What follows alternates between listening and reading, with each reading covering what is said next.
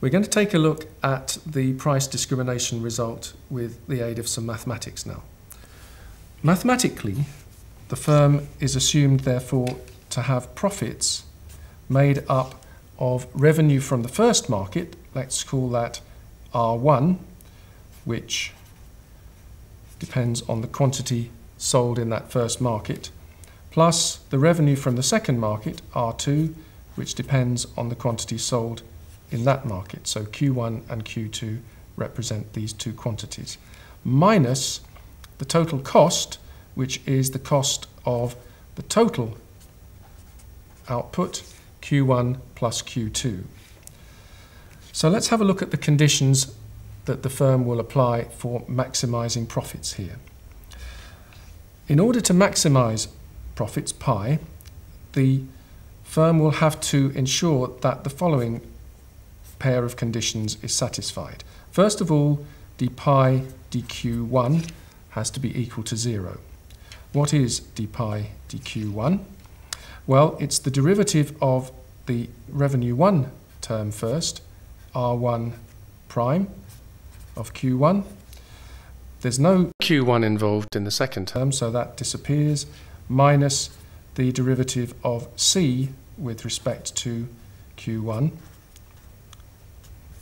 So the marginal revenue from, from market 1 must be equal to the marginal cost in market 1, which will have to be equal to 0. At the same time, d pi dq2 will have to be equal to 0. So differentiating the profit function with respect to R2, we get nothing from the first term. The derivative of R2 with respect to Q2 minus, now we differentiate the cost function, C prime, just as before, has to be equal to 0. So these are the two conditions that have to apply. Now, clearly, if we interpret the first term MR1, that's R prime 1, that has to be equal to the marginal cost, which is the second term here, C prime, and MR2, that's the R2 prime, has also to be equal to marginal cost. So putting them together, MR1 must be equal to MR2. Now we want to make use of another result, which is that the marginal revenue can be expressed in terms of the price and the elasticity in a market.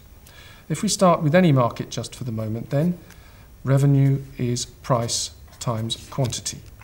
Marginal revenue, which is R prime, will be the derivative of this total revenue, which will be the first term times the derivative of the second term, dq dq is just 1, plus the second term, q, times the derivative of the first term with respect to q, which is dp dq.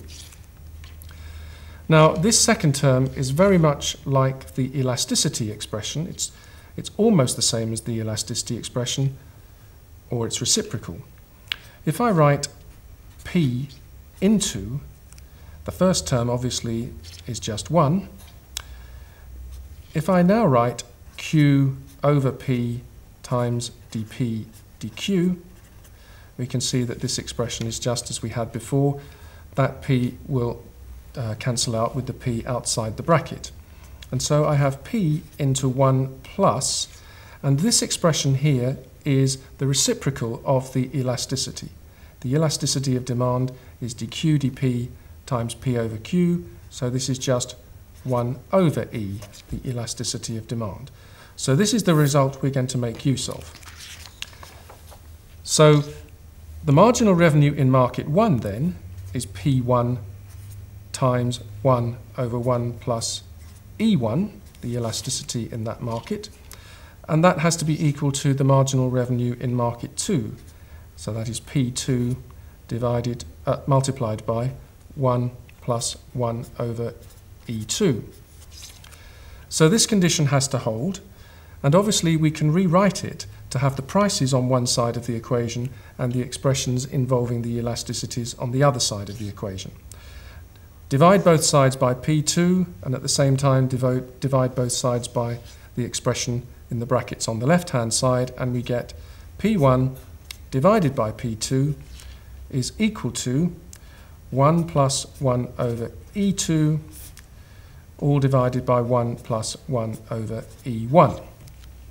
The ratio of the prices is equal to this expression relating to the two elasticities. And we can see, therefore, that if the elasticity of demand is high in market 2, where the elasticity is E2, this expression here will be greater than this expression here, which means the price in market 1 will be set higher than the price in market 2. The only situation in which it would be optimal for the prices to be the same would be if these two elasticities of demand were equal to each other.